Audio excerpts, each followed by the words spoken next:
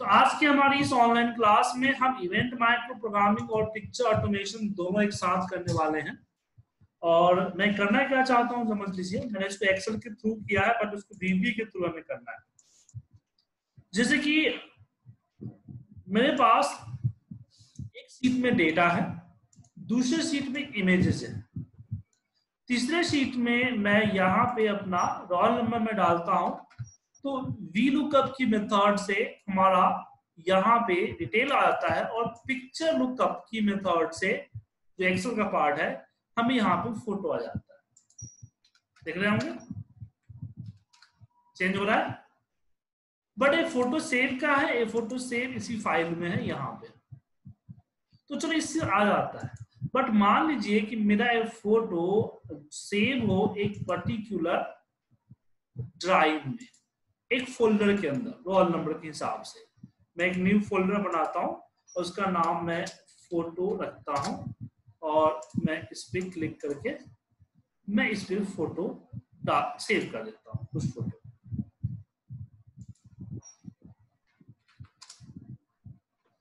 तो प्रॉब्लम समझ में आ गया आपको?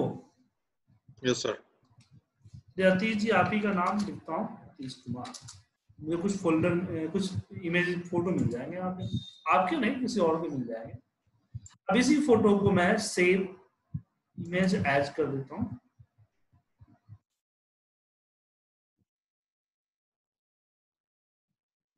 इसमें फ़ोटो का हाँ फ़ोटो और उसके रोल नंबर के हिसाब से तो ये नंबर वन सेव हो गया। सेव एज नंबर टू हमने सेव कर दिया। Save as number three. Sir record कुछ बोल रहे सर रिकॉर्डिंग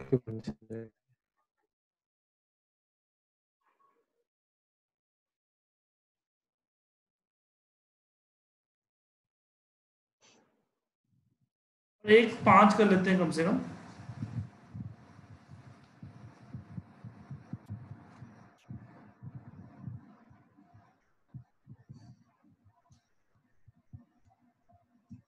इसी होगा।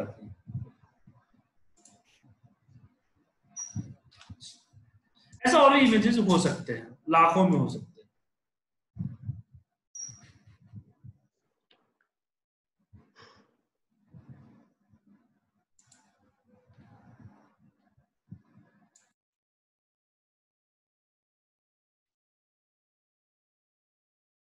मैं चाहता हूँ कि ये जो हमने इससे किया है बी लुकअप से किया लुकअप पिक्चर लुकअप से जो किया है, वो पिक्चर लुकअप से ना करके मैं करना चाहता हूँ किससे? अपना एक्सेल का, जो वीवीए का पार्ट उससे, मैंने जो फ़ाइल से हो, क्योंकि एक सीट से ना लेना चाहता हूँ, मैं अलग अलग फ़ाइल से लेना चाहता हूँ। तो सबसे पहले तो आपको इसके लिए डेवलपर टैब में जाना होगा। इंसर्ट और ए आपको फॉर्म कंट्रोल में एक्टिव कंट्रोल में यहाँ आपको इमेज का दिखेगा। इमेज को सिलेक्ट कीजिए और जि, जिस साइज़ का इमेज आपको चाहिए उस साइज़ का यहाँ पे आप ड्रॉ कर। हो गया?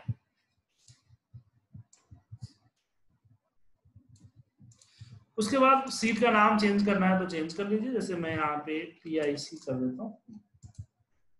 फिर इस पे राइट क्लिक करता हूँ और जाता हूँ व्यू कोड में। तो हमें क्या चाहिए? हमें चाहिए जब मैं इस पे चेंज करूँ तो चले।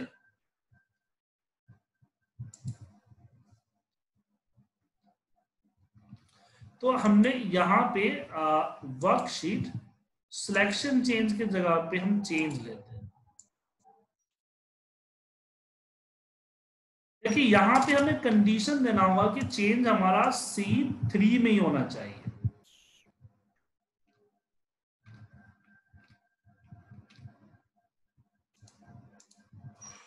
तो कंडीशन होगा कि इफ़ अब जहाँ चेंज हो रहा है, वो टारगेट है यहाँ। डिफाइन किया हुआ है।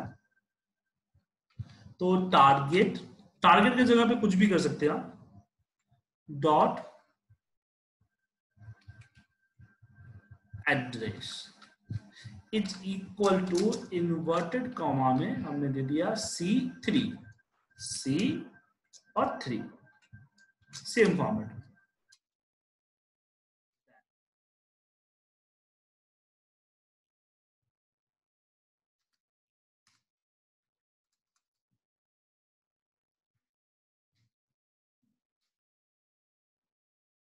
यहाँ पे क्या करना है? अब मुझे जो हमारा पिक्चर है, उसका ड्राइव पास लेना होगा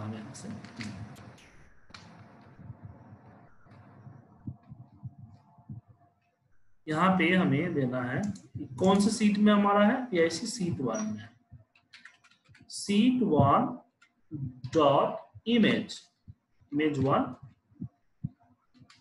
dot picture equal to load picture और यहाँ पे फ़ाइल नेम तो फ़ाइल नेम में यहाँ पे हमारा रेंज कौन सा है? सी फोर क्योंकि फ़ाइल का नेम तो रोल नंबर के अकॉर्डिंग है ना? सी फोर डॉट वैल्यू और फिर एन परसेंट डॉट जेपीजी ये तो देना ही पड़ेगा।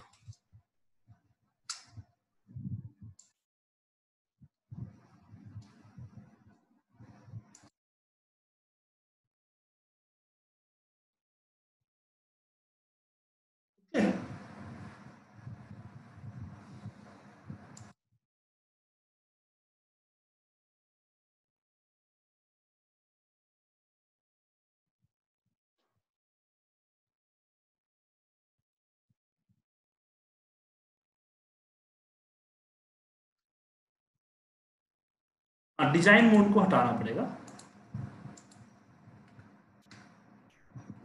Debug file not found C three करना है। नहीं थ्री से मतलब नहीं है।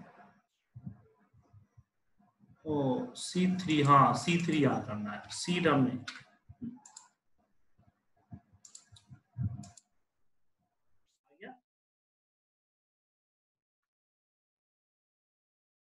लेकिन पिक्चर कट रहा है ना इसमें किसी का पूरा आ रहा है। क्या? हाँ यस सर। सॉल्यूशन क्या है? कि डिज़ाइन मोड को एक्टिव करें। देखिए सीट पे कोई वीवे का ऑब्जेक्ट का काम करेंगे तो डिज़ाइन मोड एक्टिवेट करना उसके बाद इसको सिलेक्ट करें प्रॉपर्टीज़ में जाए। इसमें आपको दिखेगा एक माउस पिक्चर्स मैप में आएगा। विजुअल ट्रू है।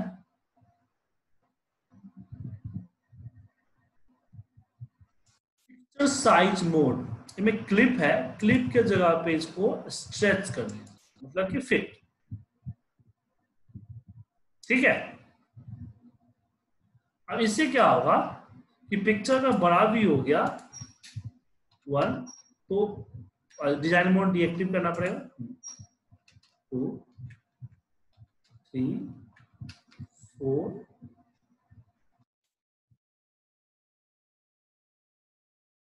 ये फोर में चेंज में five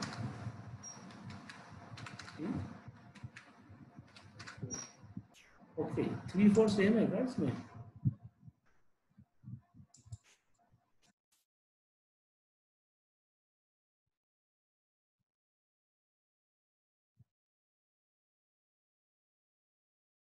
फोर सेम है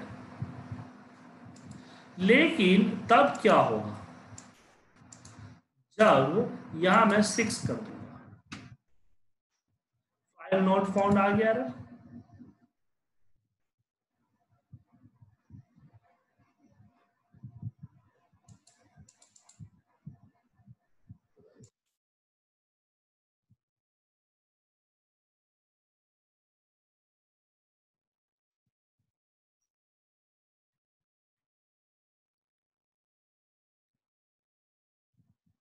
तो यहाँ पे हम dir फ़ंक्शन लेंगे। यहाँ पे करता हूँ मैं कि dim f1 as a string हालाँकि मैं यहाँ पे एरर हैंडलिंग भी दे सकता हूँ, लेकिन नीचे और भी डेटा हुआ, वहाँ पे एरर हुआ तो दिक्कत हो जाएगा ना।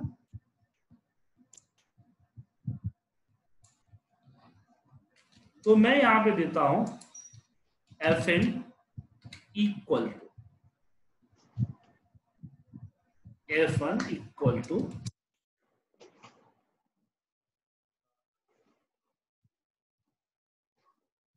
D I R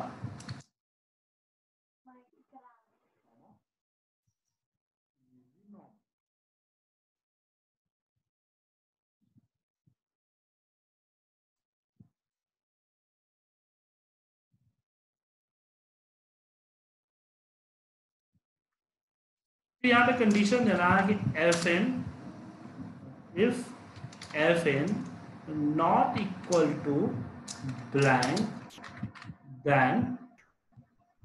ये चले else else में हम इसको लेते हैं यहाँ पे लेकिन आ, ऐसे नहीं। इसके लिए मैं एक काम और करेंगे इसके लिए सबसे पहले पेंट खोलेंगे।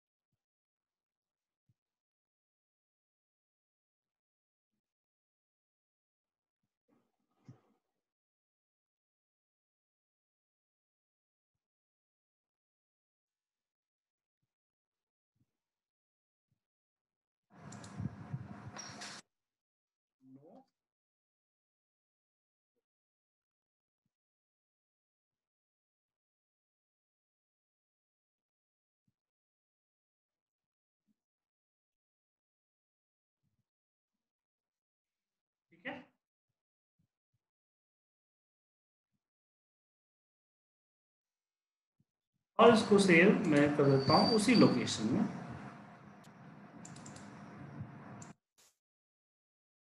एनपी के नाम से। JPG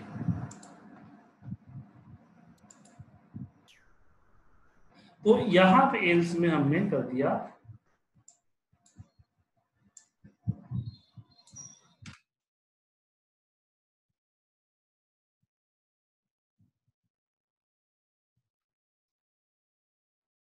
Okay.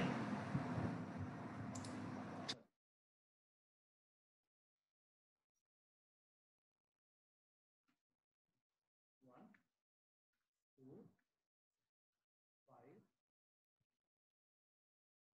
Yes, sir. Sir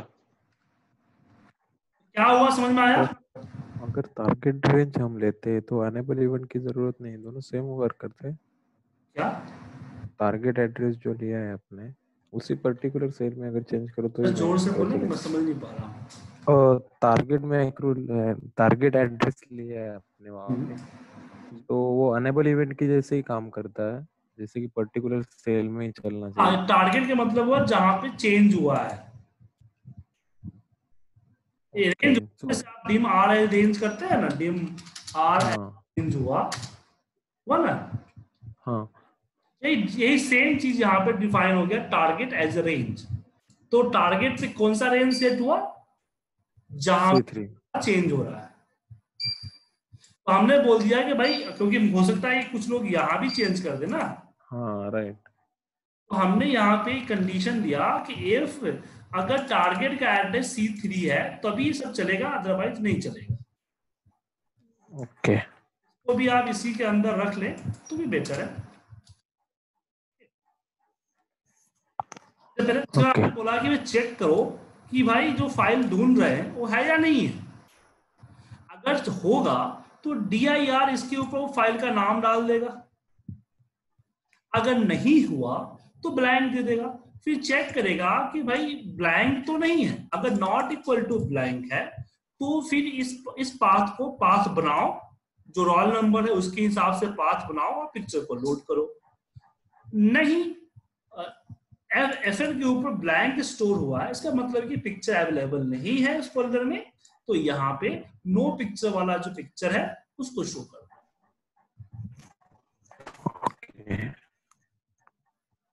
किसी और को डाउट है? नो सर अतीश जी आपको? नहीं सर समझ गया। Vicky ji? Yes sir doubt नहीं सर। तो अब बात हुई कि जैसे कि हमने इसको यहाँ पे किया ऐसे हम इसको यूज़र फॉर्म पे भी कर सकते हैं। तो कोई भी पिक्चर्स को आपको लेके आना है, उस पिक्चर्स के ऊपर वीडियो प्रोग्रामिंग के साथ लाना है। एक तो एक हो गया कि भाई नॉर्मल जो पिक्चर आप इंसर्ट करते हैं, वो इंसर्ट करें दूसरा होता है कि भाई पिक्चर आपके आपके जो डेटा का पिक्चर है, उसको लेके आना है तो वो आपका ऑब्जेक्ट के थ्रू हो जाता है। ठीक है।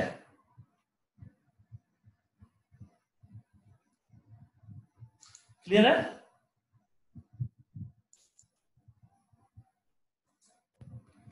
तो ये चीज़ें यहाँ पर है।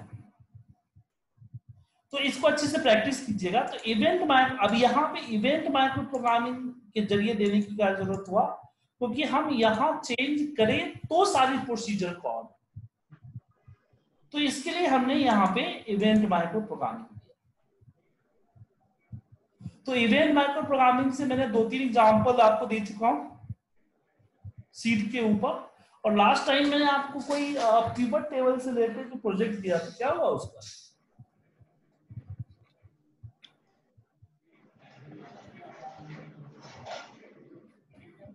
उसको भी कर लीजिए। कल इवेंट की लास्ट क्लास है, फिर उसके बाद हम बढ़ेंगे आगे। आगे की चीज़ उसके फ़ंक्शंस के ऊपर, जहाँ हम do loop by loop each loop सारे लूप को अच्छे से प्रैक्टिस करेंगे। जो हमने सीखा है। किसी को डाउट है क्वेश्चन है तो पूछ लें।